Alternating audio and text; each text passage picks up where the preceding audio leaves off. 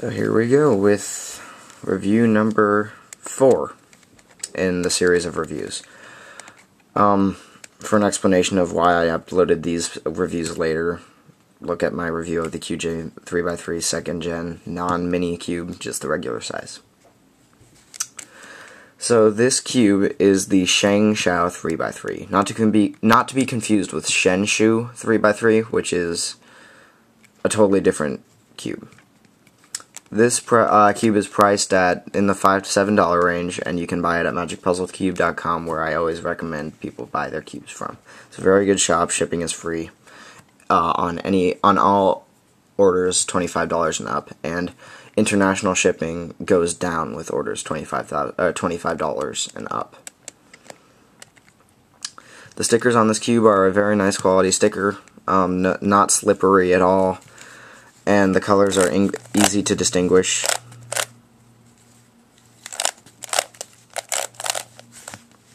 The plastic is a good quality plastic, doesn't feel that cheap. There are no edges or sharp points that you need to sand down when you get the cube. The internals look like this. It has very unique internal pieces compared to most other cubes. Like this one, it's got sort of that spade shape it's just kind of hard to explain. You just got to kind of look at it and see. But the internals of this cube definitely are definitely what make it uh, have its unique sound. And the cube also does have these corner caps, which I really don't understand, but whatever, they don't pop off, so it's not an issue. The edges look like this. They're more rounded than the standard Rubik's Cube. Obviously, the standard Rubik's Cube is a square. And it's very not bulky at all. There is a lot of there isn't a lot of plastic that goes into making this cube and there's that little piece down the middle and the internals of this cube definitely do give it its unique feel as I've said before and it also has tracks not as pronounced as that of as those of the QJ brand cube but they still do have tracks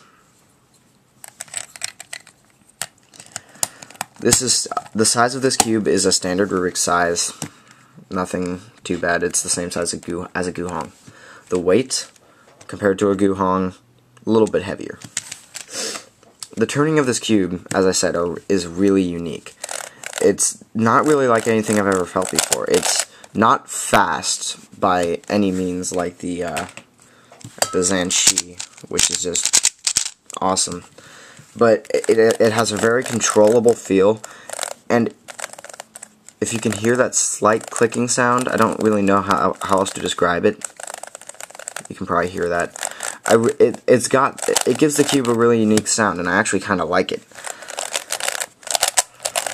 And it is very smooth, it's not crispy, it's just that one thing that, I don't, I really don't know how to explain it, you just have to feel it for yourself one quick thing, the reason why I got this cube is because I own two ShengShou brand cubes, a 2x2 and a 4x4, and I've been very impressed with them. So I wanted to see what their 3x3 has to offer.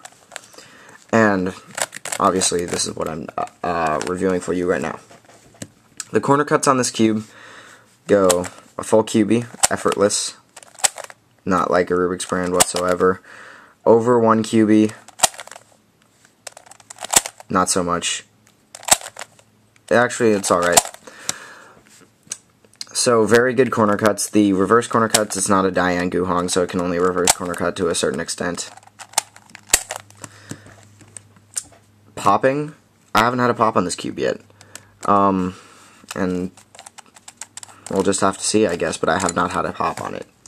And locks are just standard, standard locks that you get with any cube. If you overturn too much, you will just kind of have a weird thing going. And there's no weird locks that happen, such as those of the A5 before it has been modded. This cube is lubed with QJ brand lube. Looks like this. Actually, no, I, that's a lie. It's lubed with silicone. And it does have a really good feel to it. Uh, it didn't change the feel much, it just made it slightly faster. So, who would I recommend this cube to?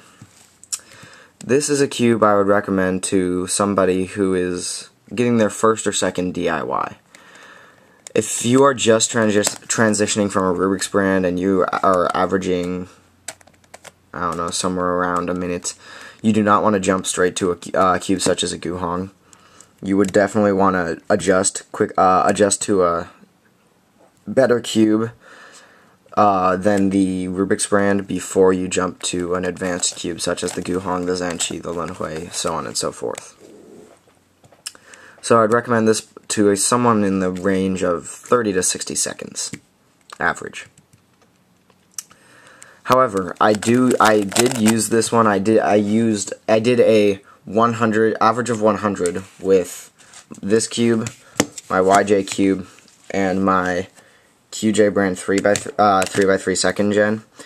And I noticed that I got my most average times with as in like sub 15 I got my the majority of my average times solves on the ShengShou and the QJ brand.